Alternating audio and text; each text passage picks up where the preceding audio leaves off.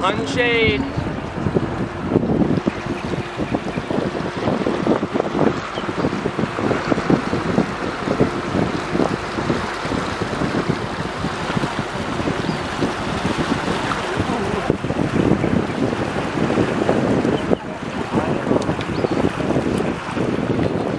Water cuts deeper, so and your wall's the same, but it's way higher.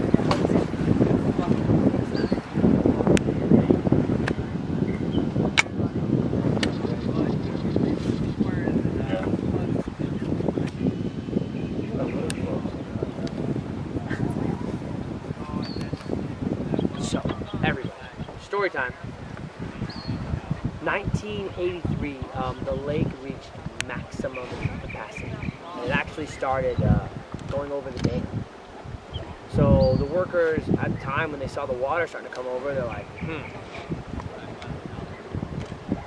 what could we do make the water stop coming up over the? I know. Plywood and ducks. You think it worked? Work?